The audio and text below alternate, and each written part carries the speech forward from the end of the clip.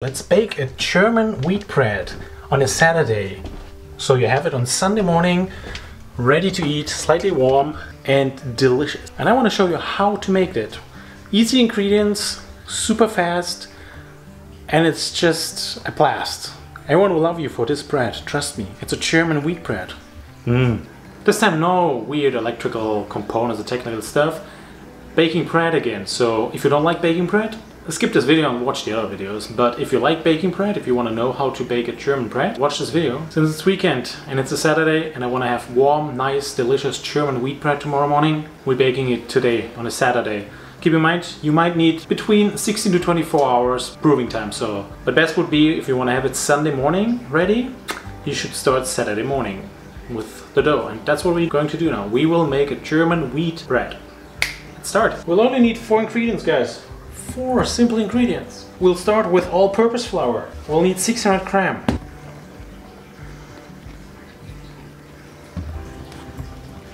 Three hundred ninety gram water, around 12 gram of salt. I like a little bit more salty, so I'll put in more.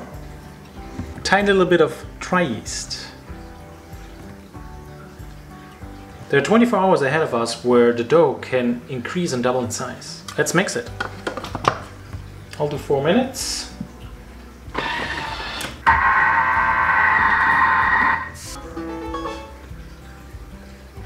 After about four to four and a half minutes with my Thermomix on a dough kneading setting, I'm done with kneading. Oh, it was so much work, trust me. So much work. Four and a half minutes. I'll use this bowl, I'll put it in, and after an hour I will start kneading it again it's not really kneading, it's more like folding from all four sides and then I'll cover it with a lid. I decided lately to use lids rather than just towels. Those lids have the advantage that they keep the air inside and whatever is developing inside, if it's getting warm and stuff like that, it's just staying inside and helping dough to increase in size. That's what we're doing now.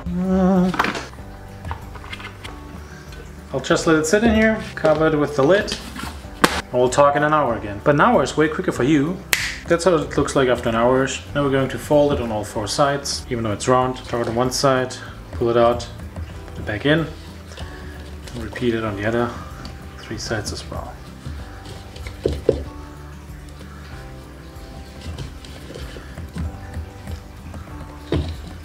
That's what it is. Closing it, letting it rest for 16 to 24 hours, and then we'll continue. I'll see you tomorrow. For the recipes, baking with the Dutch oven or cast iron, just uh, look them up here. So before we start, we'll have a look. Our dough increased in size. It smells good. Before we continue doing stuff with it, let's preheat the oven. We turn it on on the American Bake oven. So pretty standard baking feature which every American oven has. Kind of in German Ober-Unterhitze, most likely and we'll preheat it to 475 degree Fahrenheit or 250 degree Celsius.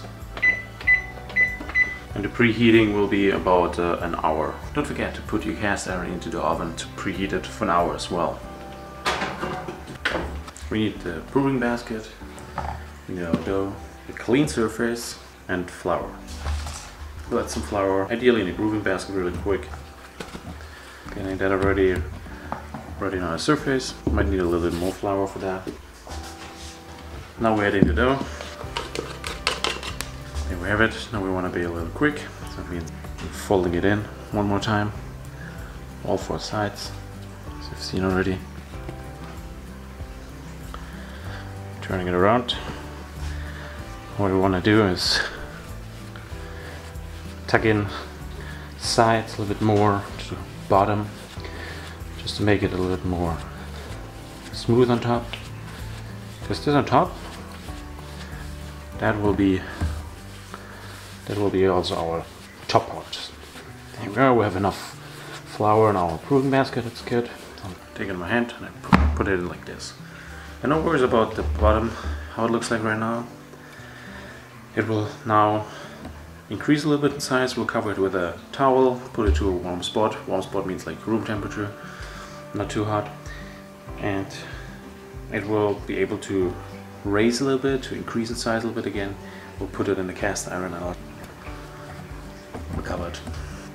And now it should work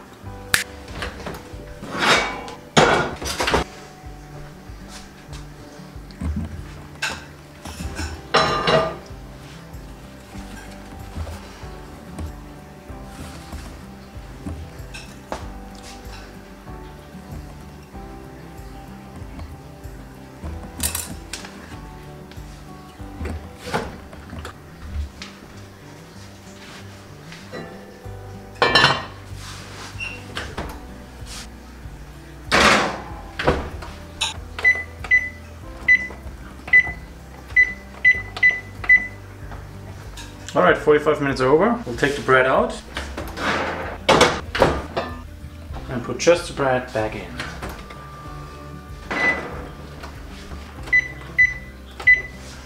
We'll give it another five minutes.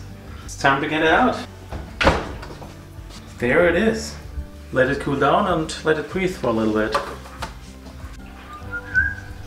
And there it is.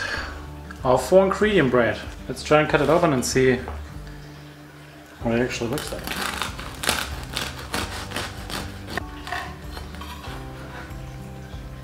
There it is.